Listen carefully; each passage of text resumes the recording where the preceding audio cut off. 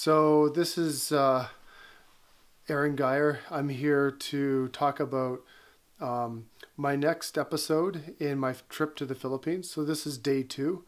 Um, one of the problems uh, that I encountered is a philosophical problem, and that is what defines a day.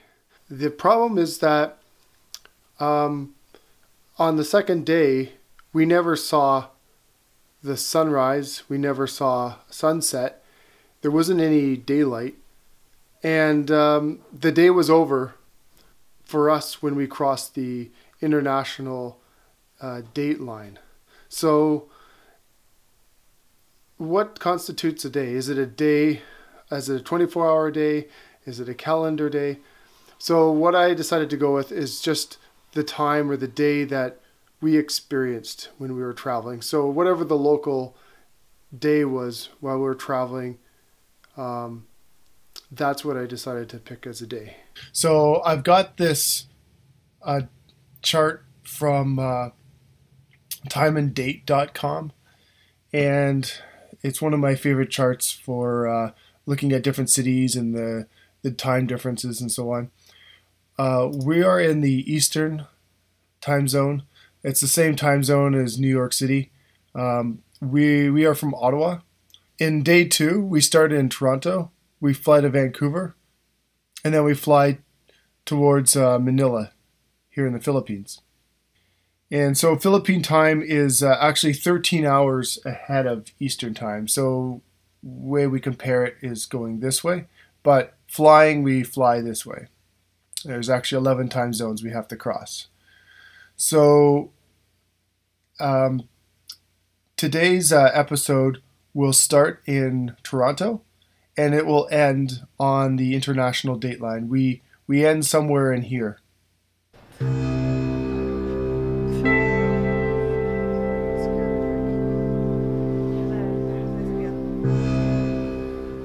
We're just gonna go check out the Philippine Airlines.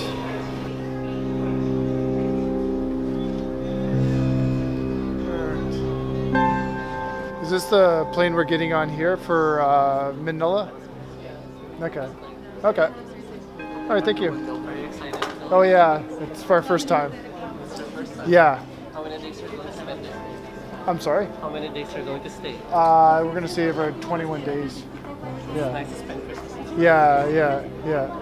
Yeah, looking forward to it. Yeah. All right, thank you.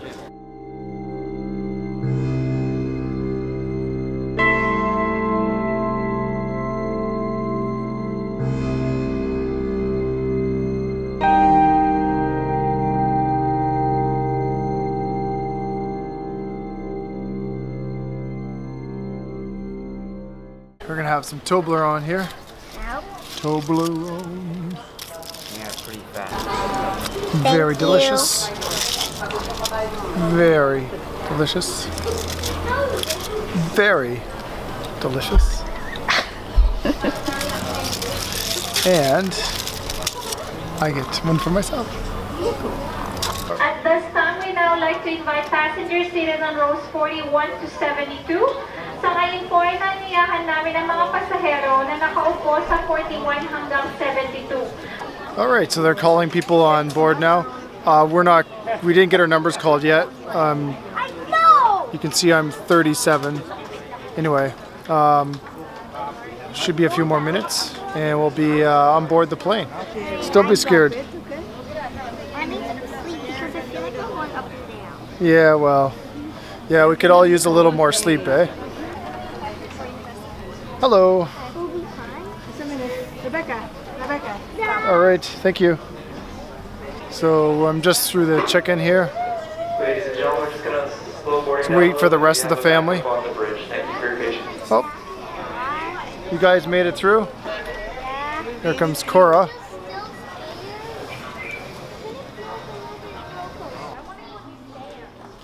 See, we're gonna go across the uh, the little bridge here. There's the plane here.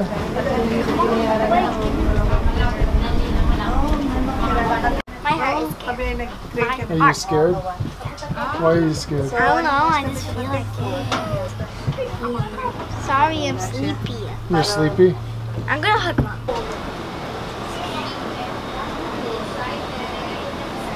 Morning pass.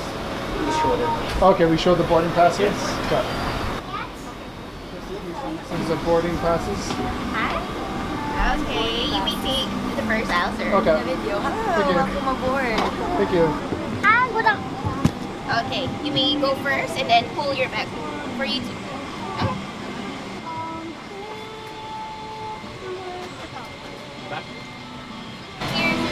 37.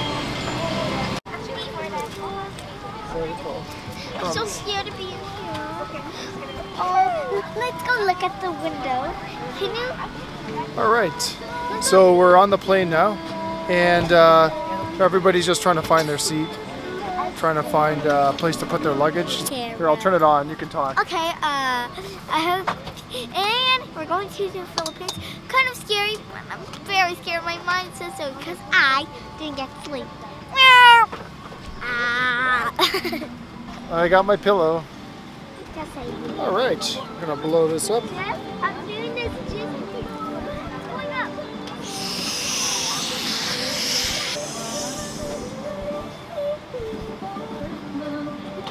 There you go. There's your pillow.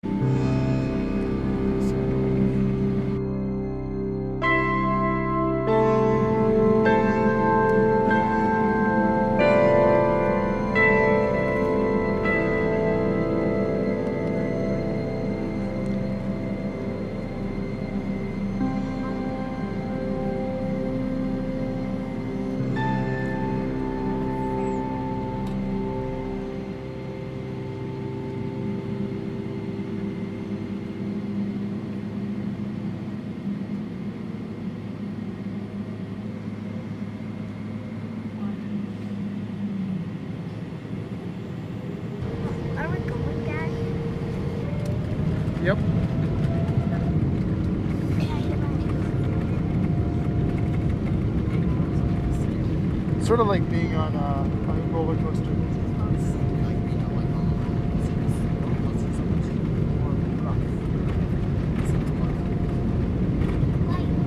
You feel the acceleration? Or is it the jerk? Can you feel the jerk?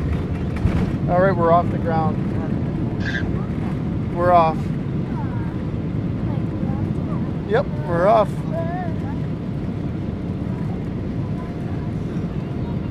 That's pretty cool, eh?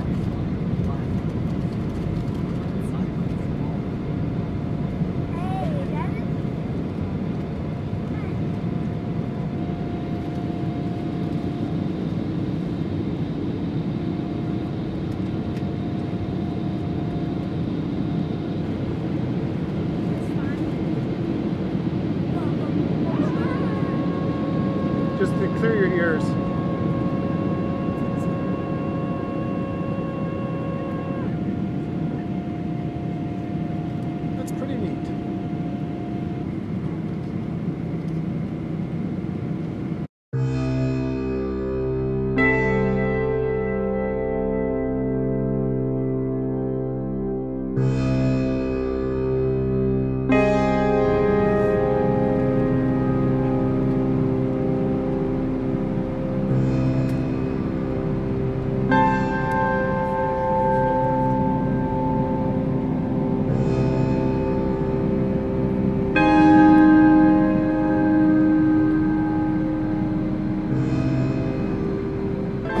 Four in the morning, and uh, we're almost at Vancouver.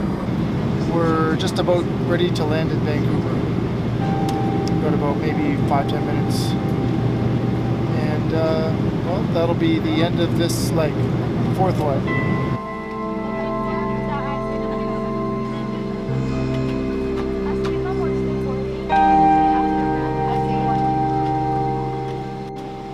Still waiting for the plane to take off. We're still in Vancouver and we're gonna start our fifth leg of the journey and the final leg to the Philippines.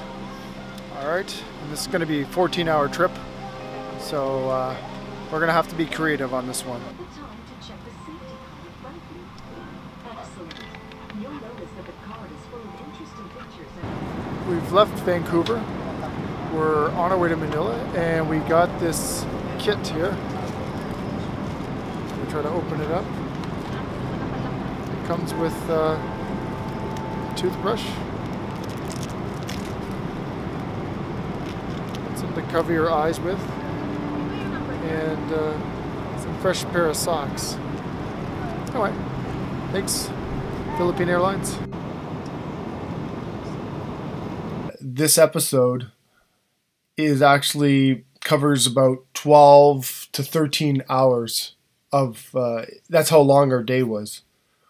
Um, it wasn't a 24 hour day. But what's interesting about it is uh, you'll notice that the, the times and dates in our footage um, look like it was around 2.30 in the morning when we left in toronto and then it was like about 7 maybe just after 7 in the morning when we got to the international date line and the reason is is because uh, the time zone every time we go across the time zone we we gain an hour. So it, it, it's almost like time just seemed to drag. Like as we traveled every two hours of traveling uh, seemed to be only we only seemed to use one we the clock only went up one hour. So it was kind of weird. It was like everything was kind of like it's, it's like time just kind of slowed down. And uh, it was it was an interesting experience. So it kind of that's why I'm uh, I had this sort of philosophical uh, questions in my mind about what is a day. And my wife describes uh, traveling to the Philippines as confusing, and uh, now I understand why.